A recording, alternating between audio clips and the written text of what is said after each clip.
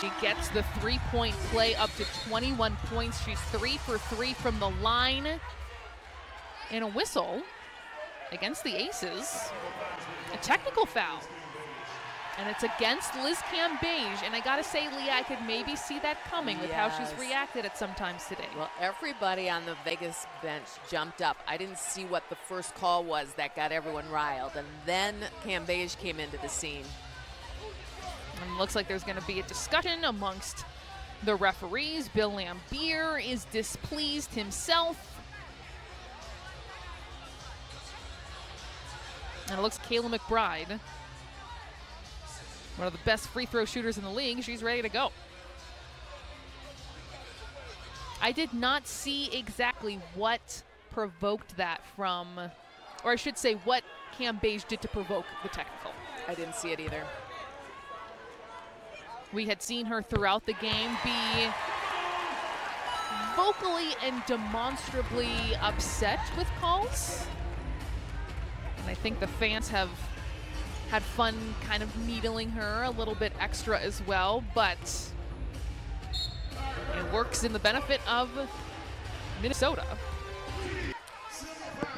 It still is, we know just the legacy of Sylvia Fowles. We talked about how Cheryl Reeves says she is the best center in the history of the game. But it is fun to see this battle when you have someone who really has the size, skill, talent to make it hard. I, it feels weird to say it. It's interesting to see Syl struggle and still put up these kinds of uh, numbers, Right. but it hasn't been easy. Yeah, it hasn't been easy, and I think this is why she thrives in these types of games. Liz Cambage did not like that contact, or rather something that was said. Jess Shepard and Collier appealing to the referees. So Cambage was fouled, fell to the ground. Not sure if it was contact or words that might have gotten under her skin.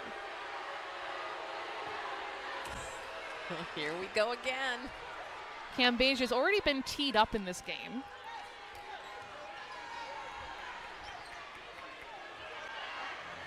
And it looks like there's going to be a review of this. Well, we knew it could get heated.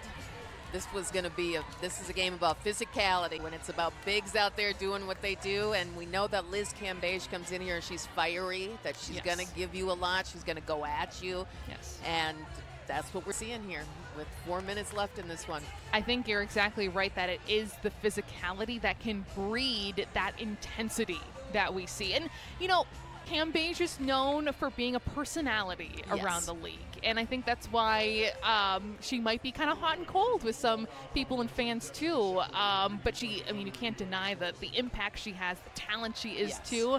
Uh, but I think she likes that persona where some people like her and some people maybe don't. Right. But that's what you see come out in her play is that emotion. Absolutely, and she isn't going to back down to anyone, which is real No. clear. That's Real exactly clear. right. Jessica Shepard looked a little taken aback by what she might have done to provoke that.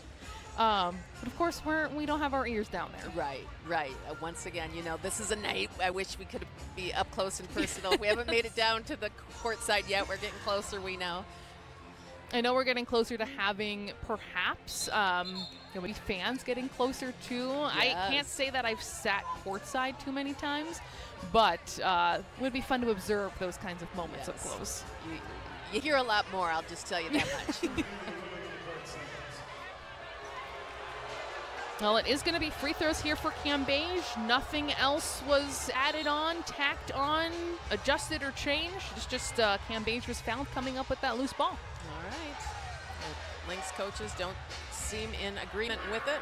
That's on Shepard, and that is, uh, well, 16 fouls, so free throws the rest of the way. Uh, Coach Reeve, Rebekkah Brunson, Plenette Pierson, Katie Smith, the whole crew. They're not happy. Very animated Lynx bench and coaching staff.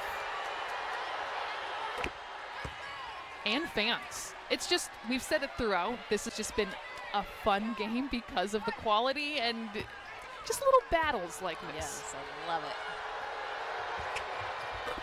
Cambage two for two, clapping as she backpedals back on defense.